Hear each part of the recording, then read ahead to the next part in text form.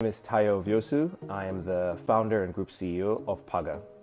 Paga is a mobile payment service here in Nigeria that is focused on making it simple for individuals or businesses to send money, make payments, and bank digitally.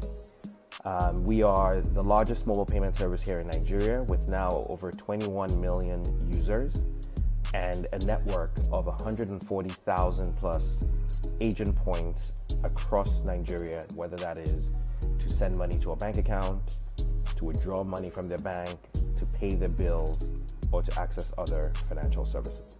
So, my journey into Paga or to set up the company um, really started out of my own frustration carrying cash everywhere with me in Nigeria. Um, I had moved back to Nigeria in 2008 um, with a strong desire to be part of the economic redevelopment of Nigeria.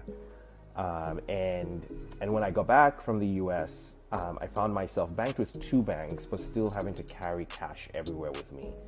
Uh, and so the vision for Paga is a cashless world where everything can be done digitally, whether it's on a mobile phone or your smartwatch um, or in any device. You, you can transfer money. One of the books that I really enjoyed reading in terms of entrepreneurs and, and memoirs was Shoe Dog by um, Phil Knight.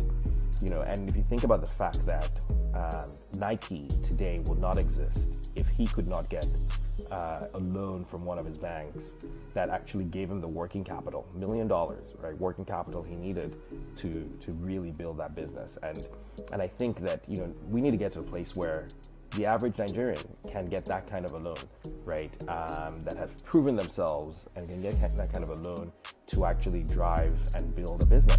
The biggest change I, I think I would want to see is just funding for for the creative and tech industries, right? Whether that is debt funding or equity funding.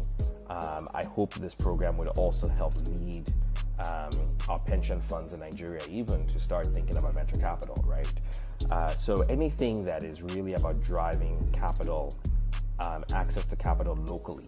If you look at China or India, um, they're no, no, longer raising money from you know just outside of their country. They're raising capital locally, and we need Nigeria to get to that kind of a place where, whether it's debt capital or equity capital, we're doing it locally.